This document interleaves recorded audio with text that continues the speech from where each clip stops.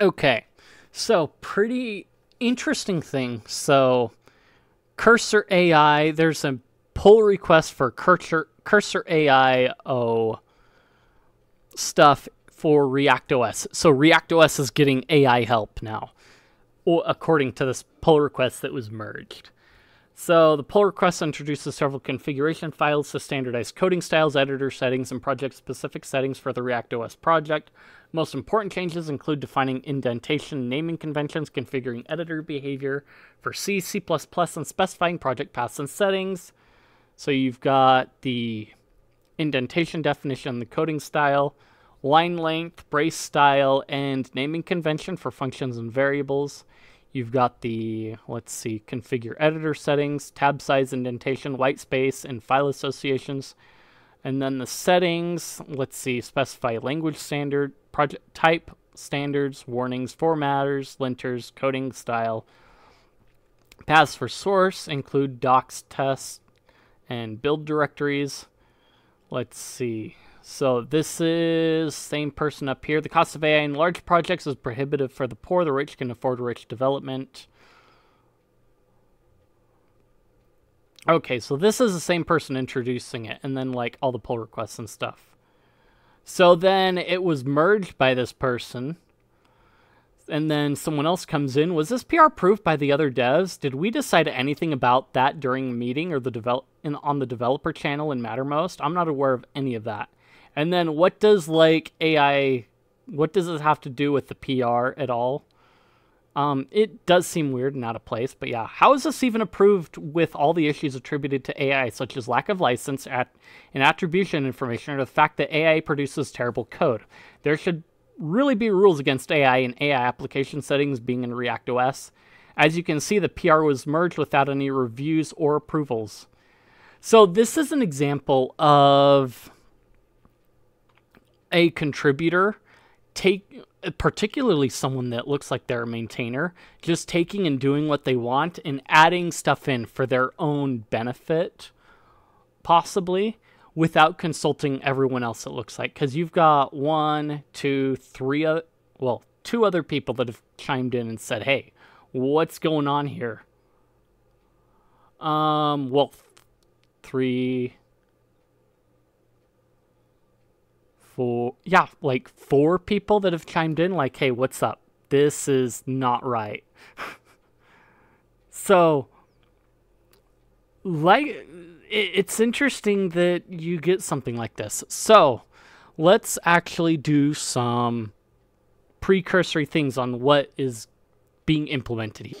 Okay, so um, cursor this is basically your code editor. Um, it looks like it's another Electron app, just like VS Code. I mean, I don't see much of a difference of like, hey, we're gonna like do VS Code or NeoVim and we're gonna use AI in it. Anybody could be using AI in it already. This is just someone, it looks like, adding features for their own environment, and it's an app image, of course for Linux. Let's see, downloads, Mac OS, Windows, Linux, do, do, do, features. Okay, so you've got the agent. Cursor's agent mode can complete tasks end to end. It does this quickly while keeping programmers in the loop. Tried out by selecting agent in the composer. Use custom retrieval models. Cursor can understand a code base, reduces the need to manually add context, run commands, loop on error, loops on errors. So it's basically a, in some ways, a debugger. Cursor includes a powerful autocomplete that predicts your next edit. Once enabled, it is always on and will suggest edits to your code across multiple lines, taking into account your recent changes. So these are configurations for the editor with built-in AI. Again, you could implement these things in any old code editor that you're using like NeoVim, but we have to use an Electron app and now we have to include the project files for my specific use case in the whole entire project, which seems really, really stupid that you as a contributor feel the need to include your like your one use case in for everything else everybody does. So now people have to download your configuration files to use your own thing. Okay, let's go back to the PR.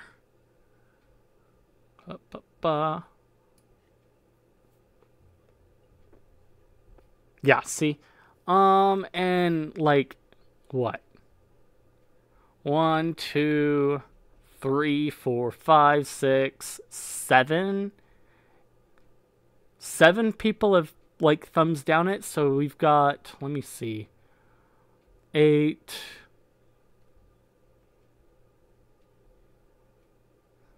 And nine people that have chimed in in this project that um don't like it.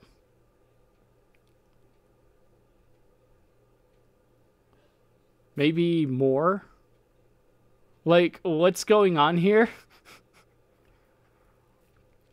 so, I mean, it could reasonably re be removed from the ReactOS project, but there was really no need to add such a thing to it.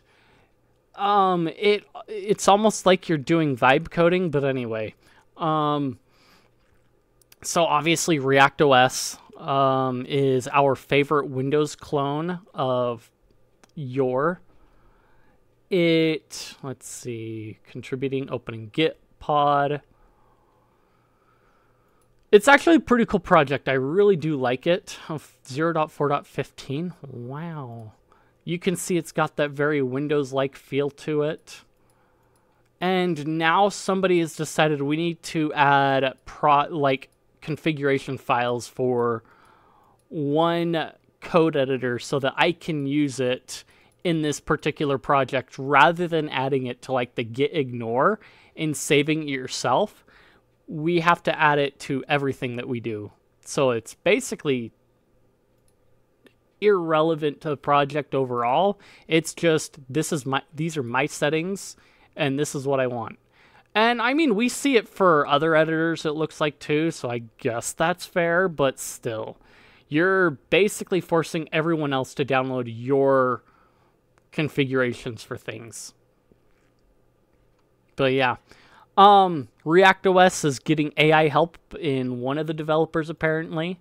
Let's see, how many can do we have? 284? Yeah.